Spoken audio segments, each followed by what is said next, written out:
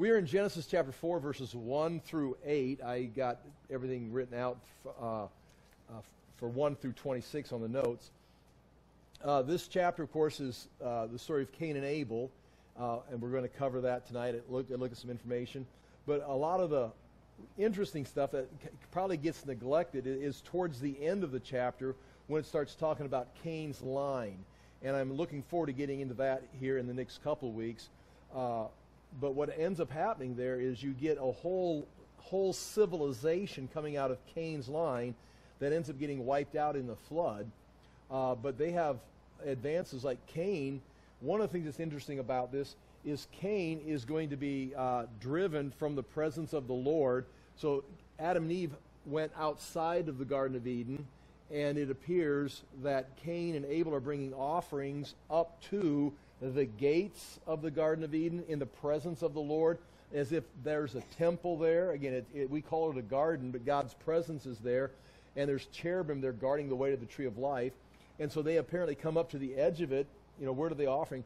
The offerings, because Adam and Eve live outside. But then Cain is driven further to the east, and he's going to be a, uh, a, wanderer. And uh, the ground no longer will produce for him and it gives this idea of just this wandering nomad uh, of no place to go. But as the chapter ends, do you know what Cain does? This doesn't work for him. I mean, there's no there's no production, there's no food, there's there there's nothing, and so he ends up building a city, and so you get your first city out of this, which is going to be kind of interesting because now cities begin to develop, and then now within that city uh, we start the chapter off with uh, Cain doing what his father's always done. His father was designed, created to be a, a worker of the garden, working with the soil, and then uh, he's sent out to continue to work the soil, except it's going to you know, be hard with pain. Cain does the same thing. He's a tender or he's a worker of the soil and produces crops.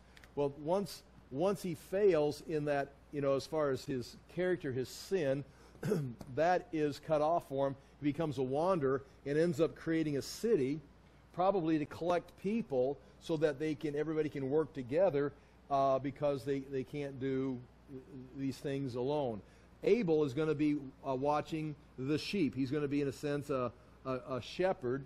And so the two basic things are going to be crops and animals at the beginning of the chapter. By the time we get to the end, there, they, there, there's, there's musicians, there's, there's people that are, are uh, creating metal, you know, be tools and uh, weapons that they're, they're forging, and all of that is taking place in the city. So a lot of things happen in this chapter besides just Cain killing Abel. Sometimes it comes up uh, that th- there's no continuity between you know, the first story and the second story here, and someone's just putting pieces together. Uh, but there's a lot of similarities, and I, that's why I start on top of page one. Just some similarities. There's many more. I, you could get into more. I even was reading one of the commentaries, and they're counting words and how uh, th- there's seven this and seven this, and there's five times seven this, and everything's duplicated in the chapters. I thought it sounded a little bit like numerology, and it was accurate, uh, but I didn't know how much value it was. So I, I kind of chose some of the things here that just kind of show you that the same author and the same style is taking place. Uh, the similarities are the divine questions in chapter 3 and chapter 4 is, uh, you know, where are you and what have you done? God questions Adam, questions A, uh, Cain tonight. Adam says, I heard your voice in the garden, and actually in the Hebrew it's just the word voice. You know, voice in the garden. It was God's voice was in the garden and the Lord says to uh, Cain tonight, He's going to say, I, I tra- wrote it, listen to the voice, or, or listen to voice. And that, that in the Hebrew is just the word voice. Your brother crying out, hear the voice. And so voice is used in both chapters in the confrontation. Uh, the cursed, uh, we see the cur- serpent being cursed and the ground being cursed in chapter 3. Tonight, Cain himself is going to be cursed uh, grace and provision for, for both Adam and Cain. Adam was given clothing and the potential of growing a crop, although it's going to be work hard, and producing an offspring that's going to bring about some kind of deliverance. Uh, Cain when he complains about being a wanderer, says, I'm not going to make it. Someone's going to kill me. He says, okay, I'll put a mark on you. Again, one of those, mis- what, what kind of mark is it? We'll get to that sometime. Uh, but Adam was given clothing. Cain is given a mark. Uh, in here tonight, you can remember uh, the woman was told your desire will be for your husband, but he will rule over you. The same words are used tonight for Cain when he wonders why his offering's not being accepted or whatever's going on there. God tells him uh, that there's a, someone desires to have him, but he himself is going to have to rule over. There's the desire for you. You're going to have to rule. So, like the woman says, you're going to desire your husband, but he's going to rule over you. Cain has said someone desires you, but you're going to have to rule it. And that's an important point I don't want to forget. When he, Cain is confronted before he commits his sin, he has a, a free choice. He, he is not trapped. He's not destined for this. When he, his offering is rejected by God, if we can use the term rejected, and we'll talk about this, uh, it's not accepted. Um, he comes and questions Cain with the idea of bringing him to a place of let's do you think something's wrong? Can we talk about this and i can maybe lead you to lead you out of this? Cain has nothing to do with it but god doesn't want to confess it but god gives him he says listen you're on dangerous territory. There's something that desires to have you but you're going to have to rule it. Giving him the, the idea right here that it, it's up to you now this thing wants to desire you you can stop it you have the potential of stopping this if you will rule it. Cain chooses to follow after uh, what is desiring him, thinking it, you know, it's his own choice or his own desire, but that desire is to, it's, it's a sinful desire that's going to conquer him. We'll talk about that. Expulsion, both out of the garden towards the east. Adam and Eve are moved out of the garden to the east. Cain moves further to the east from the garden. Adam and Cain both worked the soil. Adam and Cain both failed concerning fruit. Adam ate the fruit that he wasn't supposed to. Cain offered the fruit and it wasn't accepted. Uh, Adam and Cain are separated from God by this. They, they, they knew something. They were questioned by God. They were sentenced by God. And they were driven away. The next thing on that page is something you've seen before. Uh, I, have seen it preached. I've seen it in Facebook posts. I've seen it in YouTube videos. Uh, sometimes you see a reel of a pastor saying this. And some pastors do such a good job of, of rattling this off that it's very, it's very, I don't know, emotional. It's very powerful. Me, I'm just going to list it here. Uh, and there's, there's several things that could be added to this and different ways of putting this list together. But the similarity between uh, and now, I, what I just showed you was the similarities between chapter 3 and 4, which gives the impression they're, they're the same unit. They, they go together. They're not like stories that were just made up.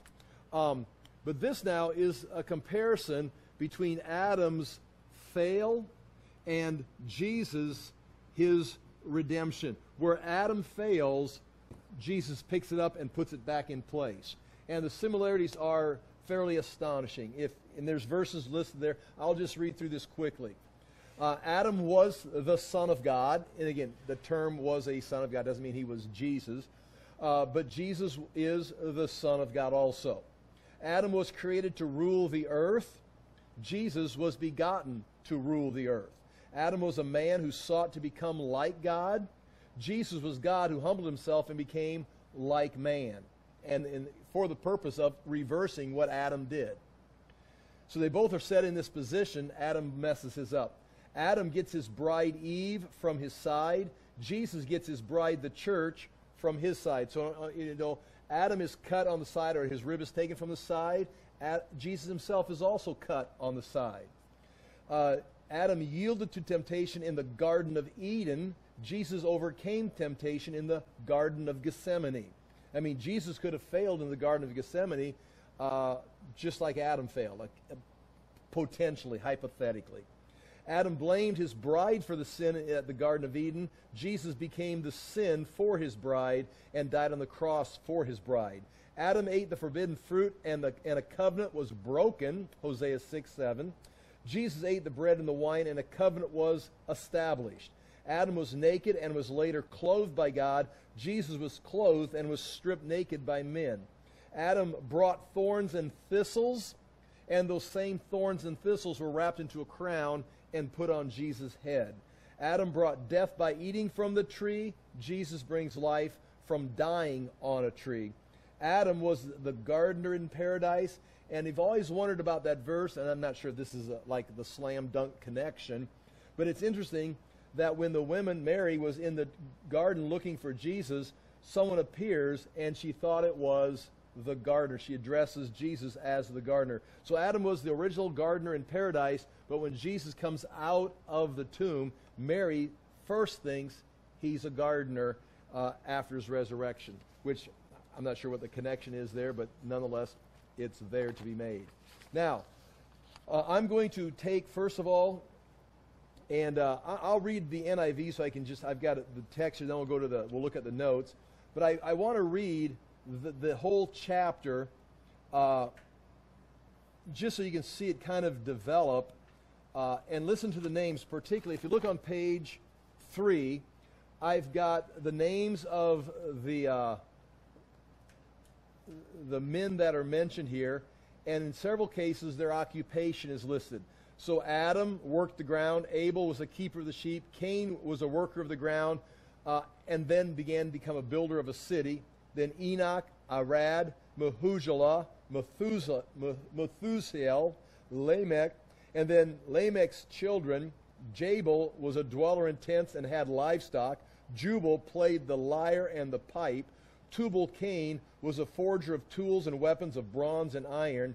And then Seth, Cain and Abel's brother, had a son named Enosh. And in Enosh's day, the chapter ends, men began to call on the name of the Lord. Which is interesting. It isn't until the end of this chapter, wasn't until Adam's grandson that men began to call on the name of the Lord. Now, what that it's like what does that mean? Does that mean no one's praying, no one's having worship service, no one's seeking God uh, after Cain and Abel? Uh, and then Seth's son begins to. Uh, we'll look at that and try to. Some of these things, like we've talked before, they're so far back and they're in such a different time that general statements like men began to call on the name of the Lord. I mean, when we call on the name of the Lord, you call for help? Are, are they desperate?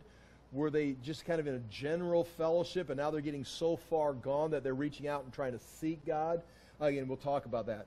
But there's a little family tree also I put together, nothing unique about that, except Cain's line is going to end with Jabal, Jubal, Tubal Cain, and Naamah, which would be his daughter. They're uh, Lamech's children. It is assumed that they all died in the flood. It, again, because that, that, that's, again, it, does, it maybe goes on a couple more generations, but it, you can see they're very developed. They've got musicians uh, that are not just playing the flute and the, the, lyre, the flute and stringed instruments, they are probably performing in the cities. Uh, you've got weapons and you've got tools that are being made. Uh, cities have developed. I mean, the first city was made by Cain, so you can imagine all the cities that were built by those that followed. We get that uh, secular humanistic idea that, again, these guys are cavemen and that they're just, you know, digging in the dirt looking for bugs or something. Uh, and you, you miss the concept that that's the secular humanist and naturalist idea coming out of evolution. But we go back to the idea that if God created Adam in the Garden of Eden and, and they are strong, they are intelligent, they have dominion, uh, they rule the earth, that within these generations, uh, they're advancing technically, or techni- tech, with technology uh, much faster than an evolutionist would assume. So much so that God has to destroy the world with a flood, wipe out creation, wipe out humanity, and, and start again. So something was happening with, with that line. Uh, also, I want to point out as we go through this, we have a listing of people, and and and um, you know, you've just got this list of people here, and and uh, you know, in our story tonight, chapter four, there's Adam, there's Eve, there's Cain and Abel. So there's four people on the earth. But as you know, uh, Cain is going to go off and, and, and find a woman to marry. It's like, whoa, that causes a problem. Where'd she come from? And, and of course, Abel doesn't mention his wife, but it's possible when you, especially when you start doing the, the math, and I almost I thought about it and I, I didn't take time to do it, but it's like anything when you start taking two and then you multiply it by two and get four, and multiply that by two and get eight, multiply that by two and get six, and pretty soon it's 16, then 32. Things start to mu- multiply very fast. And so, in my mind, my Sunday school mind, Eve has how many children? Cain, Abel, and Seth. Abel is dead. Cain marries somebody. Well, where'd she come from? And then Seth goes off, and it's like, you know, when, when Cain killed Abel, he killed 25% of the world's population. Okay, that's a very simplistic way of looking at it. If Eve is having children, you know, and she's the mother of all life, and, and the ideal is her role, just like man's job is to take care of the fields, produce the fruit, her job is to have children, especially with salvation connected to it. Within, you know, 50 years, she could have had 25 children, if going every two years, if you want to do that. Again, times were different. Well, in 25 years, uh, some of those children are daughters, and they've started having children, or, you know, in, in 50 years, or how you're doing that. And as they start having children, by the time uh, Adam has a son named Seth, he's 130 years old when Seth is born. Uh, there, there could be an, uh, an astronomical amount of people on the earth at that time. So just because we're given this sketchy list of people doesn't mean that is the only people living on the earth. We've got to, especially, okay, I mean, you say, well, that, that's possible, but I doubt it. Okay, remember, Adam has a son named Cain who kills his brother, who is then sent away to become a wanderer. He tries that, it doesn't work, and decides, you know what I'm going to do in this chapter? He ends up building a city and naming it after his son. So he names the first city after his son. Well, now who's living in that city? Enoch or Cain, his wife, and his son Enoch? I mean, three people in a city? I mean, right away, the very, the very fact that you say he built a city, and this would be Enoch, would be Adam's grandson. And Adam's grandson is the name of a city built by Adam's son Cain, which means there's got to be some people on the earth. And, and city doesn't have the ideal of village. City has the concept of something much bigger. So keep that in mind as you read through this. Uh, these people are very intelligent. They're apparently multiplying quickly, multi- in, in, in, in multiplying, and they end up in cities. So here we go. I'm going to read chapter 4 and I'm saying that because when, when I read this, I have to purposely take the caveman in. I'm not sure what, how it is in your mind. But in my mind, when I'm reading, there's pictures and, you know, you got this illustration, you have this perception, and you read it through that lens.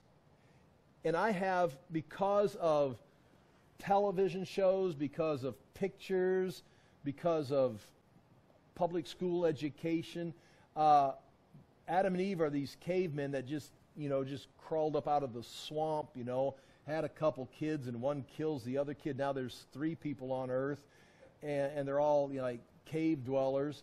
And, and then, of course, then none, none of it makes sense. How is this even possible? But go back and let it speak. God made Adam in his image. Eve is going to be the life of all, all people. She's a, a people producer.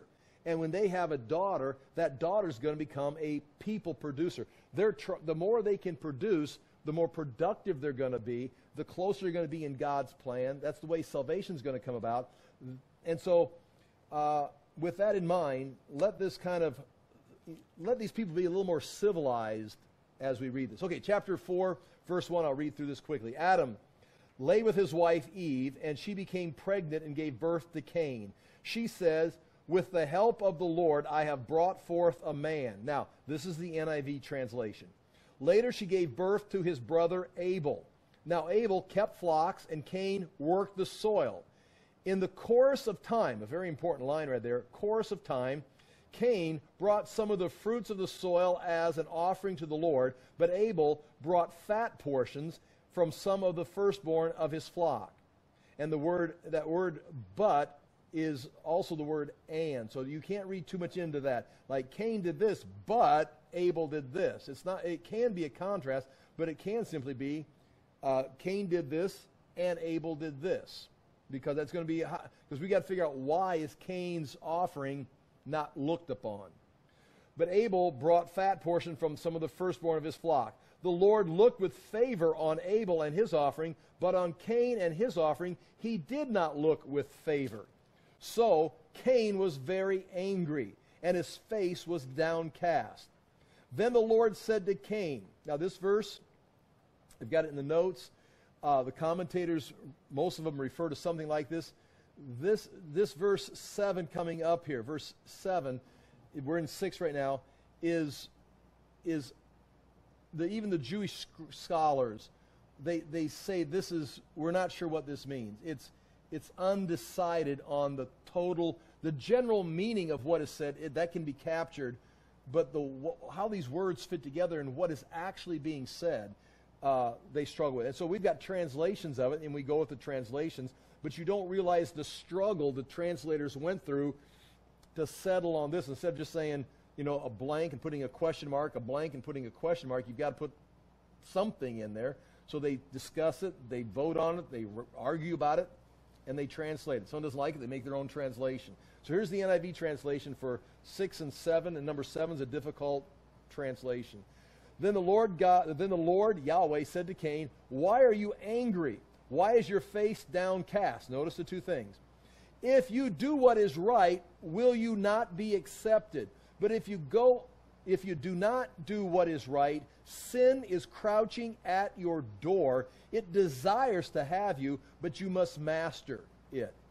Now Cain said to his brother Abel, and in the Hebrew it just says Cain spoke to his brother Abel. And that's it. It doesn't say what he said. Here it says, let's go out to the field. In fact, there's a footnote here. What does this footnote say?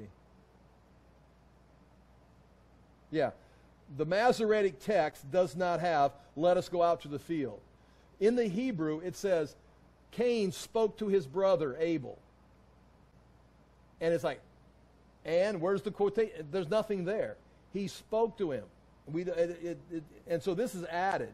This is somewhere along the line this was put in there. Even in the footnotes, it says, uh, let's go out into the field. And then, and, and, and you know how, and you hear it says, uh, and I'm, I'm off subject, not off subject by my head, but how does, how does Cain kill Abel? He hits him in the head with a rock. He says, let's go out into the field, and then he killed him with a rock. And he doesn't say, let's go to the field, and he doesn't hit him in the head with a rock. It's just because we're th- I'm thinking about cavemen and, and, and they, they, they just think, well, the only they've got is, is rocks. Well, they're, they're cutting up sacrificing animals. Uh, they, the Lord skinned an animal and gave him clothing. Well, well, they haven't developed metal, metal, metal, metallurgy yet. Yeah, but they can still make stones that are tools, you know, flint knives, if nothing else. So if you read in 1 John, the word used there is, is slay. It gives the impression of, of, of a knife cut, like, like slit his throat. But we don't know exactly what it was. But just realize the, the, the culture that I'm from only allows him to have a rock and just beat him in the head with a rock. That's not what the text says, and, and there's a lot more going on. Nonetheless, and while they were in the field, Cain attacked his brother Abel and killed him. Then the Lord said to Cain, Where is your brother Abel? Again, this was a call to repentance. This is not God asking dumb questions. It's like, uh, here's your chance to but Cain, I don't know. Am I my brother's keeper? The Lord says, What have you done? Again, just like he, just like he, he did the same thing. He asks Adam, Where are you? And then he says, What have you done? Or gave, you know, the same thing. And then here he comes to pronounce it. And then he says, Listen, or voice. Your brother's blood cries out to me from the ground. Now you are under a curse and driven from the ground, which opened its mouth to receive your brother's blood from your hand. When you work the ground, it will no longer yield its crop for you. I guess there's a kind of a clue. His brother's blood went into the ground. So, I mean, you could hit someone in the head and them not bleed. You could choke them out, them not bleed. So it, I would appear, I, I would assume there's some kind of a knife wound, some kind of a, again, I'm assuming that, but that's all the information we got. When you work the ground, it will no longer yield its crop for you. You will be a restless wanderer on the earth. Cain says to the Lord, my, it's interesting, he goes to the Lord and says, This is too much. Uh, is, it's almost like an act of faith. I mean, he's crying out for help. Don't want to give him too much credit, but at the same time, God responds to him. Cain said to the Lord, My punishment is more than I can bear. Yes, indeed it is. It's designed to destroy you. It's not, you're not supposed to bear it, it's supposed to destroy you. I added that. Today you are driving me from the land, and I will be hidden from your presence. Which again, he's going further from the Garden of Eden. If the presence of God is in Eden, he's going to be away from God's presence further. They're thinking locality and I will be a restless wanderer on the earth, and whoever finds me will kill me. Now, that also leads to the idea of a high population, or at least a larger group of people, because that would be, uh, you know, the ideal of, of, of family blood. You, you killed, you know, Cain killed Abel. Well, who's going to want vengeance for Abel's blood? Abel's family is going to come get Cain. Now, again, it's going to say Cain knew his wife and they're going to have a child, But it doesn't say Cain didn't get married until after he killed Abel, and it doesn't say Abel didn't already. If Cain and Abel are the first two children, it's very likely they've already been married and have already got a family, especially with the idea that Cain is going to build a city uh, and his son is going to name it after his son Enoch. And so there's already people in the earth. And people aren't dying as quickly, you know, in, you know, like generations they're, they're living over the, over the top of each other, not like today. Uh, whoever finds me will kill me, you know, because Abel's family's coming after me. But the Lord said to him, Not so. If anyone kills Cain, he will suffer vengeance seven times over. So whatever happens, if you, no one's going to kill Cain, you'll be punished seven times what you do to Cain. I'll do seven times you. In fact, God becomes Cain's protector. God is protecting Cain, not justifying the sin. Cain is being punished for the sin, but God is going to protect him and allow Cain to live his life out. And so seven times God is protecting. That's the, that's the, the deal.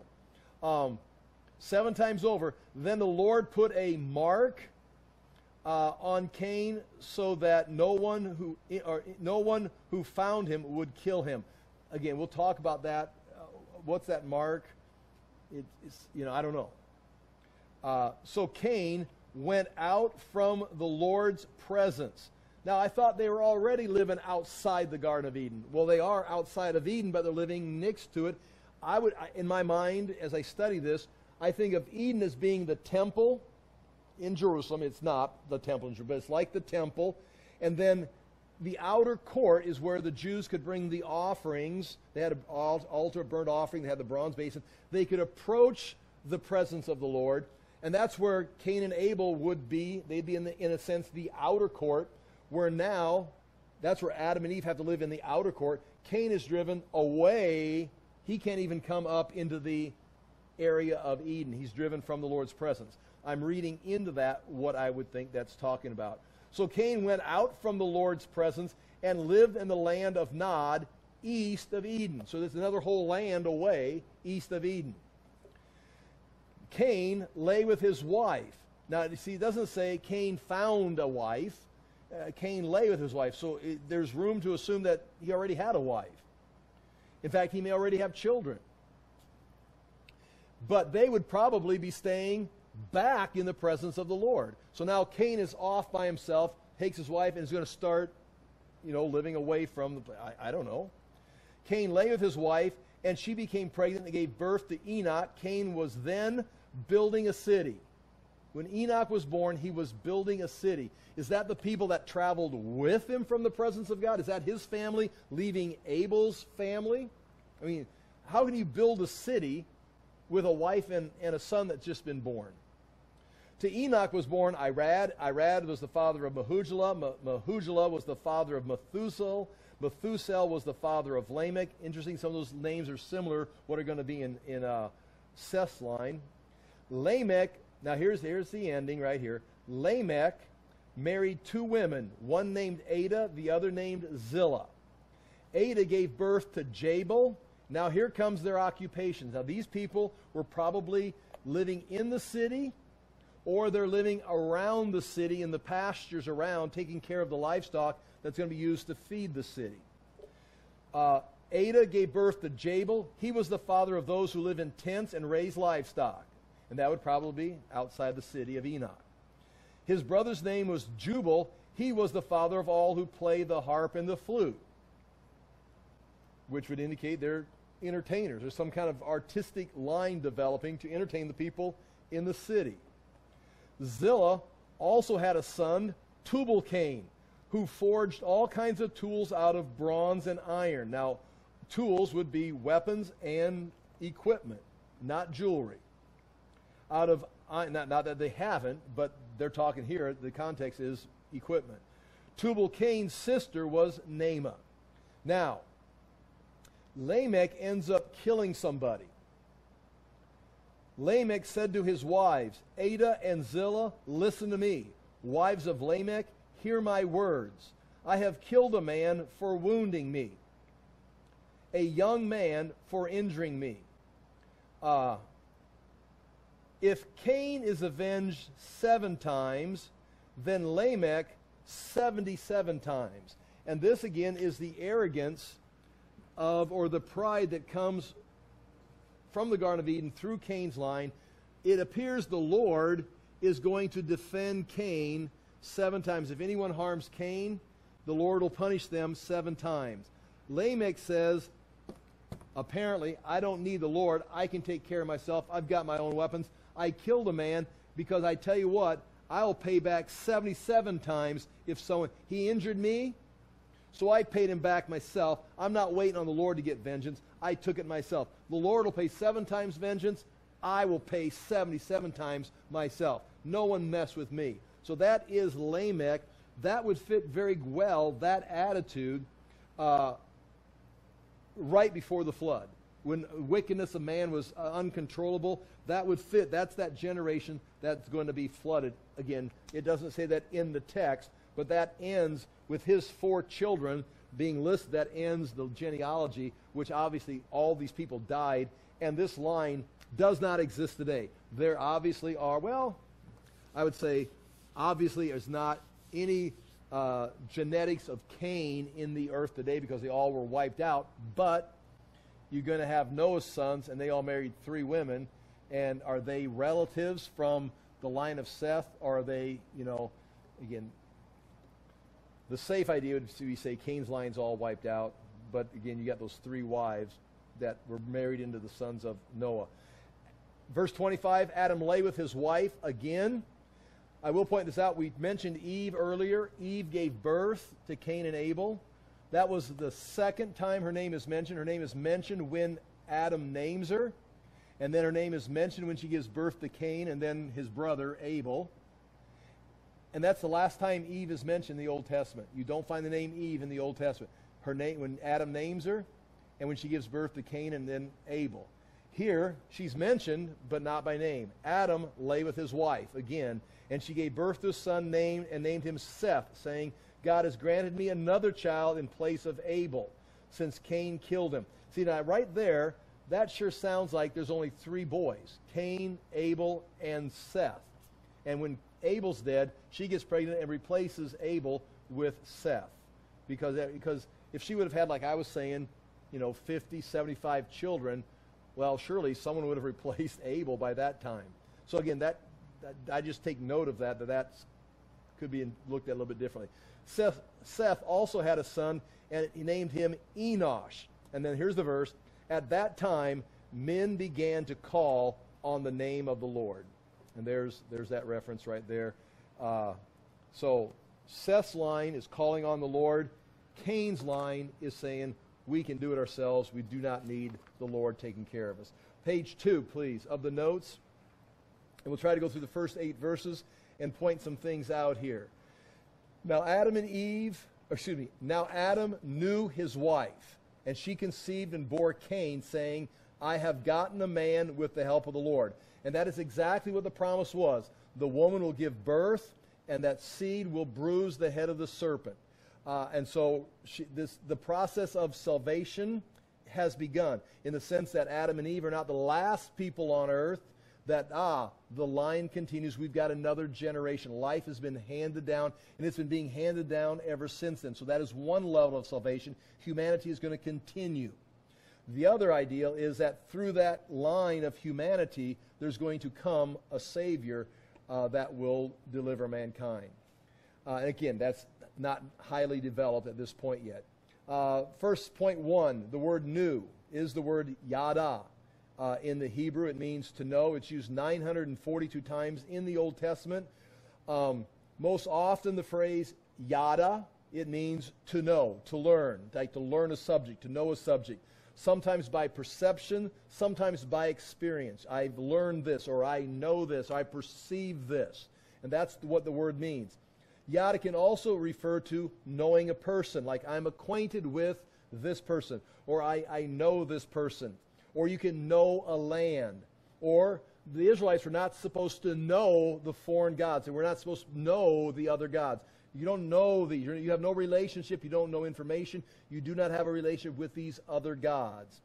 But yada can also be used to refer to sexual intercourse when used in certain contexts. And that's what's being used for right here. And I've got some written down here. There's many times in the Old Testament yada is used for that. Genesis 19:8. Behold, I have two daughters who have not known any man. Lot says that in Sodom and Gomorrah. Genesis 24:16. The young woman, Rebekah, was very attractive in appearance, a maiden whom no man had known. Uh, I get, just give you examples, uh, and you can read. There's just different places that you can see yada is being used. So again, yada itself doesn't mean sexual intercourse. It means just generally to know, but you can know these subjects. But to know your wife in Adam's case here, or to know a woman would mean to have sexual intercourse. That's just how that, that plays out right there. And she conceived, bore Cain, saying, I have gotten a man with the help of the Lord. So the Lord gave the promise, and the Lord has fulfilled his promise. And this is the Lord's work that we are now continuing to produce. Once again, I'll, I'll point out it, it, doesn't say anything about this, uh, and not everybody that's born is mentioned in the Bible, but it doesn't appear that Adam and Eve had any children until Cain. That that just seems like that's that's going to be an accepted fact. Uh, that would mean that they were in the Garden of Eden uh, for a period of time without having children, which means having children in a natural sense. She would have started having children fairly soon, which means they didn't. They probably didn't spend much time. This is again assumption uh, they didn't spend much time in the Garden of Eden. It may, it may have been a, a few days. And then as soon as they're out of the Garden of Eden, uh, with the promise that you're going to need children to keep the human race going because you're going to die, in, in the sense they didn't need children in paradise because they're not going to die. The human race is fine with Adam and Eve. But once they sin and are removed, now death has come. The only way humanity is going to survive is you need to start cranking out people because you're going to die. And then when you die, it's over. And so there's, an, there's room to think that they were in the Garden of Eden for a very short period of time, and now they're out and they start having children right away. Okay, chapter 4, verse 2. And again, she bore his brother Abel, which goes along the line of thinking she's going to just keep having children. Now, Abel was the keeper of sheep, and Cain the worker of the ground. The two occupations are given. So already they're going two different directions. Uh, Abel's watching sheep, probably goats also uh, Cain is working the ground, just like Adam was created for. Nothing wrong with Cain's occupation. Nothing wrong with producing. Cro- They've got to eat. God told them you're going to continue to produce crops. It's just going to be more painful, but you're going to need food. So planting is not. The ground is cursed. It's not going to be as easy to produce. So there's nothing wrong with Cain for following his father's career, especially when that's what his father was created for to work the ground.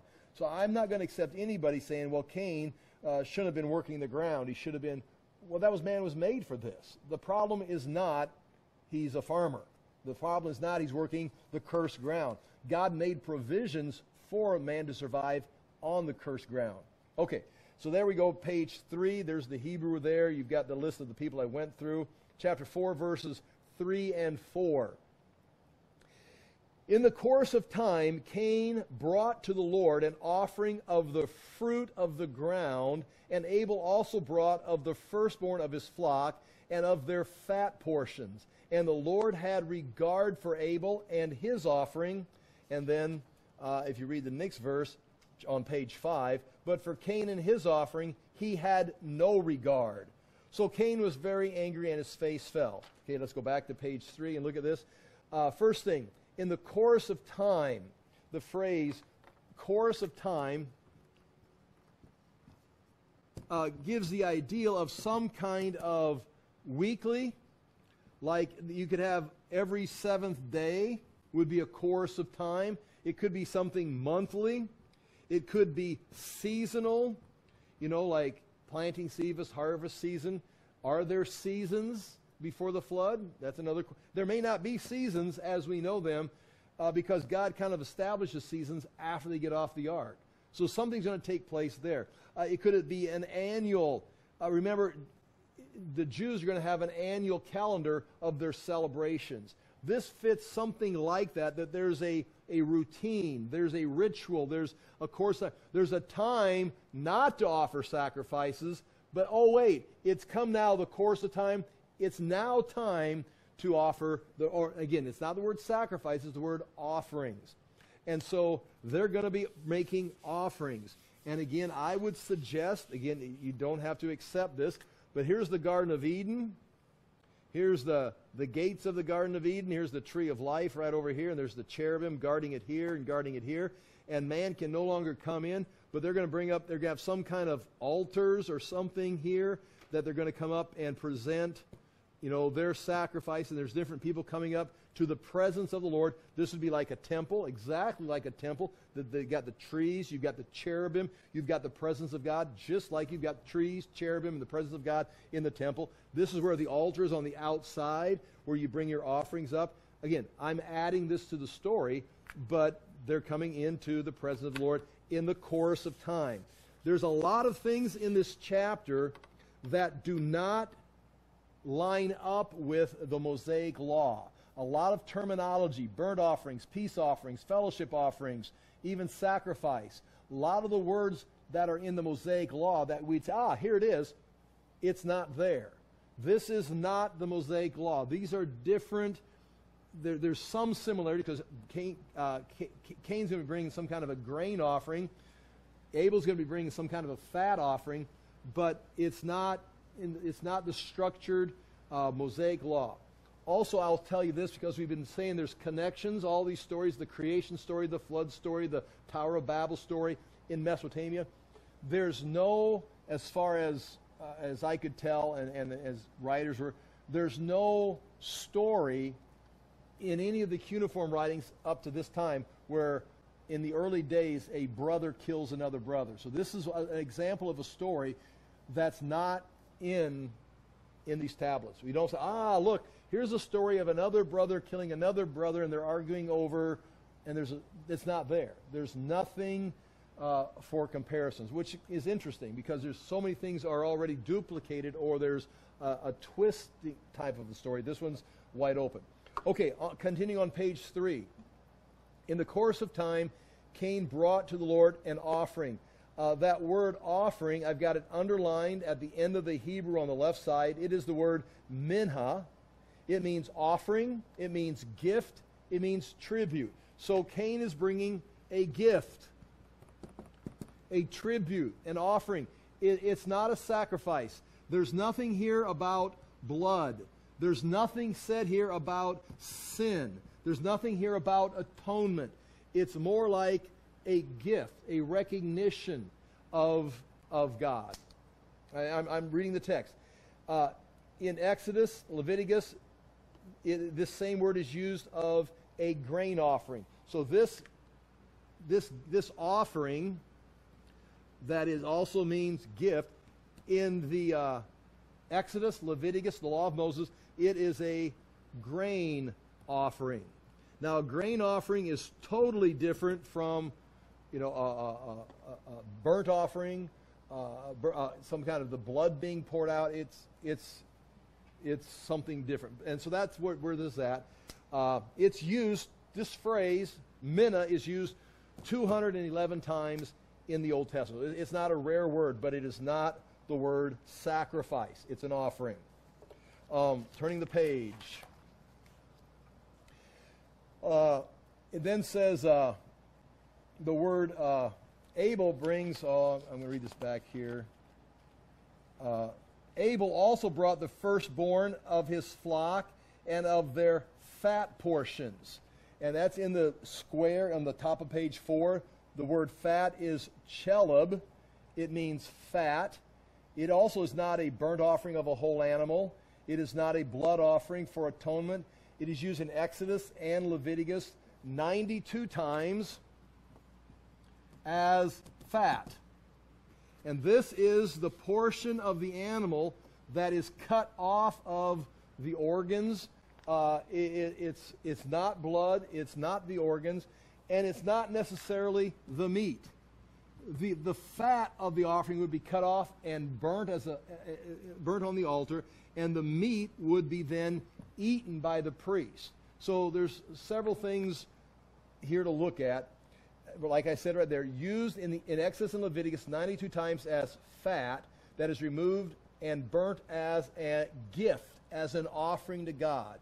Now, sometimes the whole animal is burnt. Sometimes the blood is poured out. This is a fat offering. So they're, they're both, both are offerings. One is the, uh, the grain offering or the fruit.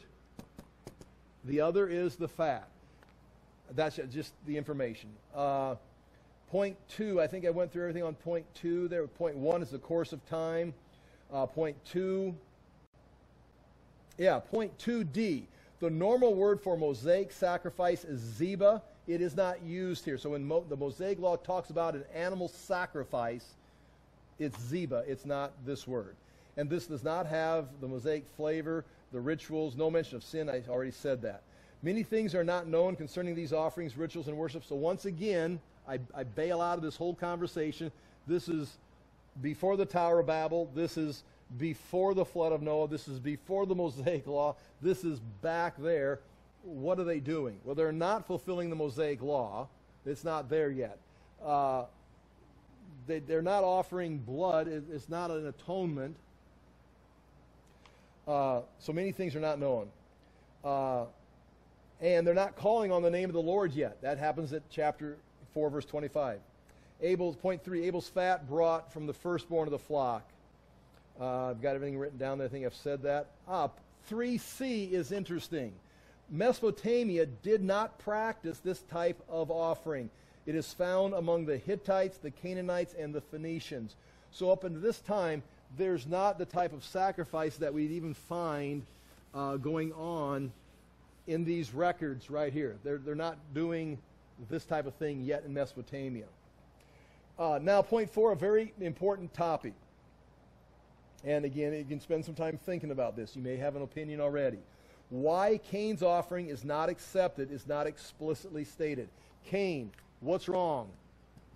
Now, I will tell you what I used to say. It was easy fun teaching, made a good point. Uh, it, was, it, it, didn't have blood in it. I, I would say, and it's, it's not necessarily wrong, I just disagree with it. Cain's offering was uh, from the cursed ground of his own human work. It was his own human work.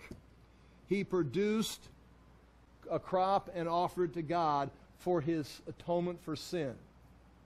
But Abel brought in a animal that he had to kill that had a blood offering, and it was to atone for his sin. It was Abel confessing or recognizing his sin. So Cain brought human works, Abel brought grace. I need salvation, and the animal represents my, my sin. And, and that works with the New Testament, that works with the death of Christ. We're, we're saved through Christ's righteousness, not our good works. Isaiah says that. And that you can say that if you want to. But it's never said in the text. It's never explicitly or even not implicitly within the text. I, am reading a lot into that, and I, I've done it before. So, point 4a, first of all, it was a deficiency in the type of offering or a deficiency in the person bringing the offering. Some reason God is saying, Abel, fine. Cain, I'm not even looking at it. So is the offering deficient? Maybe. Or is the offerer deficient? Uh, we'll look at a couple other things as we go. Abel's offering included blood to atone for sin. Cain's was an offering of human works. I'm just saying the same thing I just said. But 4b1, but yet the grain offering was something God accepted in the law of Moses. I mean, this, this grain offering was accepted in the law of Moses, so God can't, wasn't upset with it in Moses' law. And Cain was working in the profession that his father was working in. So what is Cain doing wrong with his offering? He's bringing what God gave him to bring. Uh, some say it is based on divine election. Now, this is the worst idea, I think. Some say it's based on divine election. Really, some people say it's, it's divine election. Uh, and so no one knows why Abel was selected by God and Cain was rejected other than God's choice. Meaning, God chose Abel, he rejected Cain. So it goes. And again, you can understand where that's coming from. And I think that's a pretty lame explanation of the whole. This, the fourth chapter is like, ah, we've already in the divine election here, and God's choosing some and sending others to hell. But God doesn't approach it that way. God, God actually gives Cain a way out. Okay, you, you can go with that if you want to. Point D. If anything was deficient, and that deficiency is revealed in the text and is addressed by God, it was Cain. Because what's going to take next, God is not going to tell Cain, well, bring me something worthwhile. I, I need a blood offering. I, your brother Abel, he, he did it the right way. You bringing me these lousy gourds and watermelon, not even interested in this. He doesn't, he doesn't challenge Cain's offering. He challenged Cain's person himself, I, I think. And we'll see that. It seems that Cain may have had some sin issue in his life that prevented God from accepting his offering. And, and it could be a sin. You go to Hebrews chapter 11, verse 4, we'll read it in a minute. Abel offering was accepted because of faith. It says it plainly in Hebrews. Abel had faith. Cain, I guess, would not have faith, whatever that means. That doesn't say it. Uh, yet this also is not explicit and must be read into the text that there's uh, something wrong with Cain's idea here. Uh, page three. The question concerning Cain's sin remains unanswered, and I write these things. Was Cain's sin the again? Was Cain's sin that already existed? Is Cain in sin and because Cain is in sin, God rejects the offering. Or does God reject Cain, and because of the rejection, Cain is now going to sin and kill Abel? So, in other words, what came first, the sin or the rejection? It appears that Cain is already in some kind of, I'll say, I'll go little s sin little s, sin. And God is rejecting Cain because of this little s sin. And because of the rejection, Cain is going to go off and commit the bigger sin. And God is warning uh, Cain uh, hey, this sin, it wants to control you. You have to master it. If you don't master it, it's going to control you. And Cain, re- God rejects the offering. Cain rejects God's counsel. That's what I think is happening here. Uh, point E. The writer of the book of Hebrews adds this information, making the faith of Abel the issue, implying that Cain did not have faith. Uh, he writes, By faith, this is on top of page 5, by faith, Abel offered to God a more acceptable sacrifice than Cain. So they both offered sacrifice, or, uh, sacrifice uh, but Abel's was more acceptable, through which he was commended as righteous. Again, was that righteous behavior or righteous being imputed to him? God commending him by accepting his gift, and through his faith, though he died, he still speaks. Okay, uh, chapter 4, verse 5. But for Cain and his offering, he had no regard. So Cain was very angry, and his face fell a couple things right there where the word but Cain and his offering he had no regard. For Cain and his offering, is it time to go? Oh my gosh, I apologize. Okay, for Cain and his offering, uh, uh, the, the, the, he had no regard. It means simply to gaze. He had no regard. It means God is not, will not, is not gaze. He's not looking at Cain's offering. And it says he was very angry. Cain was. It means to burn, to be kindled with anger. The Lord said to Cain, Why are you angry? Same thing, same word. Why are you angry? Why are you burning? Why are you angry? And why has your face. Oh, it says, So Cain was very angry and his face fell. So right here, Cain's face, his disposition falls, giving the impression Cain is looking down. Now watch this. I'm going to make something out of this. God is gazing at Cain, or he's not gazing at Cain, but what is Cain doing? He's looking down. His face is downcast. Because of his sin, his face is downcast. And when God does gaze, potentially, he's not face to face looking at Cain. He's not Cain's not looking at God. It's either God's looking away from Cain because of his sin, or Cain's looking away from God because of his sin. Their gazes are not connecting. Uh, why are you angry? Why is your face fallen? And now watch this, and I'll pick this up next week.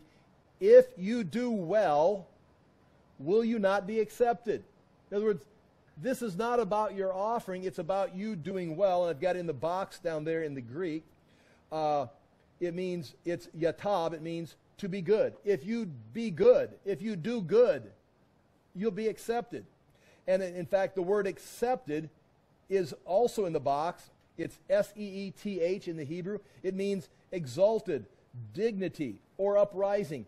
If you do good, will you not be lifted up? Where's his face? His face is downcast because of his sin. He's doing wrong. But if you'll do right, will not your face be lifted up? And when he lifts up his face, he's gazing at God, who's gazing at him, if we play this out. If you do well, will you not be accepted? Uh, and if you do not do well, watch it, I'll pick this up next week. Sin is crouching at your door. If you continue to do wrong, and you continue to be downcast, understand sin, it says, is crouching at the door. It desires, it des- its desire is contrary to you, but you must rule over it. He says, There's sin, this little sin is crouching at your door. If you don't come back and rule it, dominate it, it is going to dominate you. And that's what happens. And you've got that written down right here. I'll pick this up next week. I've already said that, I know. But the word for uh, uh, is, is crouching is the word R O B E S in the Hebrew. It means to stretch oneself out, to lie down, to lie stretched out. And it's, there's sin is lying. That word sin means sin. It's lying by the door. Uh, it means to lie down by the door. Apparently, a door opening that Cain's going to be walking out, and it desires to control him. And if you look over here, I'll let you read it yourself, and I'll pick it up next week.